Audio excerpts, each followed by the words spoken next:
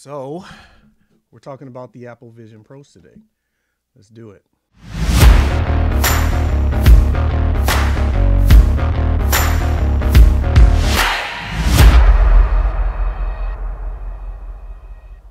But in this case is the Apple Vision Pro that just dropped. I know you guys have been hearing a lot about it, and I just wanted to give my honest feedback about what I think about this device after having it for about four days now. But let's dive in. So, first of all, I would like to say that this is not a sponsored video of any way. Apple did not send me this. I bought this with my hard earned money. So, everything that I'm going to say is my opinion and nobody else's. So, I'm here to give you all the pros and cons that I think over having it for a couple days brought me. So, we're going to go over the cons first. Now, for somebody who is in the videography realm, I'm used to spending thousands of dollars on things like lenses, camera bodies, lights, stuff like that. So, I understand what it's like to have to drop a bag or two on some equipment. So when I seen the $4,000 price tag, it didn't really rattle me like it probably did a lot of people. But with that price tag, I was expecting a lot more. First, when I get something this expensive with a price tag being 4,000, I'm expecting it to come with everything on the first drop. And I mean the basic things like everything I have on my iPhone, everything that comes on my Mac M3, or at least it being available in the App Store. And I'm not talking about third party apps. I'm talking about things like Instagram, Spotify, LinkedIn. If you're on Facebook, these are not third party apps. These are major, huge developed apps that have been around for a while.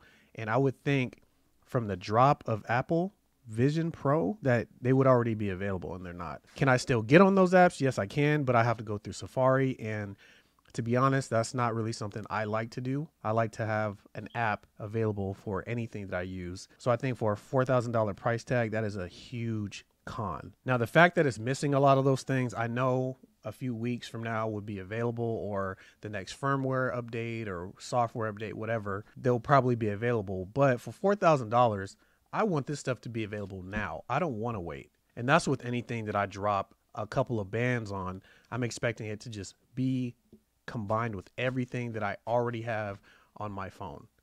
Another con is the click feature or the pinch. As you know, whatever you look at, that's where the cursor is. And when you pinch, it's like clicking the, the windows. Now, for me, sometimes I have to pinch really hard or I have to use two fingers in order for it to register.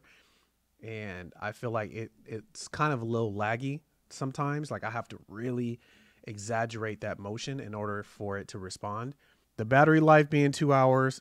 Another thing with the battery life being two hours, I feel like is a con. Um, I would have loved to see it at least a four hour range. Now, the battery is, let me actually take it out of this thing. And this is the case, by the way. This case does not come with the product. I had to buy this case separately at the Apple store for like 200 bucks. So if you're looking for this uh, soft case, I recommend it, especially for travel, but because I don't want to carry it around in the box.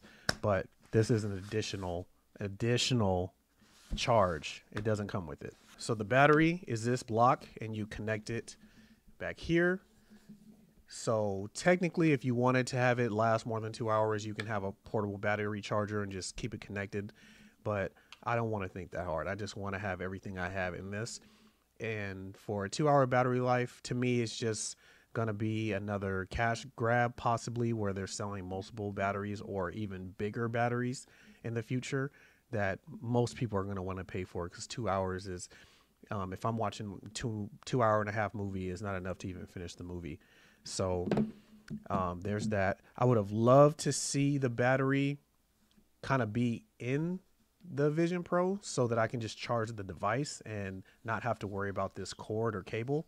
Um, but if they're worried about overheating with this thing and and all that, I would love for my face to not overheat. So if that was Apple's compliance department, bravo, because I'm not mad about that.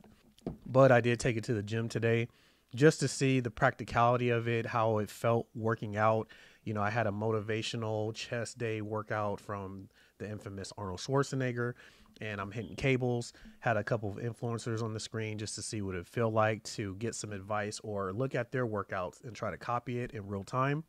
And I did have to deal with, you know, this kind of dangling. I tried to put it in the back of my head, and it was still a little excess cord. I put it in my pocket, and there was a time where my arm kind of got caught because I'm doing flies, but Um, it's not the end of the world, but I would love to have seen either a smaller cable or just another option to to having this thing charged. Maybe having something that's just connected here that's a little bit lighter than this. But that's another one. Now we're gonna move on to the things that I love about this, the pros. I love the immersive feature. That is probably one of my favorite features on here to be able to just sit in a movie theater, a digital movie theater, and to be able to block out the world. Or if I'm watching YouTube, I can put myself in the mountains, in the desert, to just kind of black out everything that I'm surrounded by and just be fully engaged with whatever I'm watching. And it's actually something that I'm looking forward to when I travel for work because best believe I'm taking this thing with me when I go on an airplane. I love the multiple windows feature and being able to place things throughout my house, having things like uh, cooking stuff in the kitchen to working out stuff in my garage where my gym is to entertainment stuff uh, in my living room or even sometimes where I like to lay on my back because I had a long day. I plan on just laying on my back and watching something on my ceiling, something I can just rest my neck and still be able to see TV is amazing. I feel like I have a little mini projector on my face and to be able to expand the view or draw it closer or further away is such an amazing detail for people who may not have the best eyesight. I thought that was just an amazing feature and the details are so clean. I've moved things further away and closer and the detail doesn't change. The resolution is still sharp. The next pro will be detachment. Now, this will kind of be a pro and a con.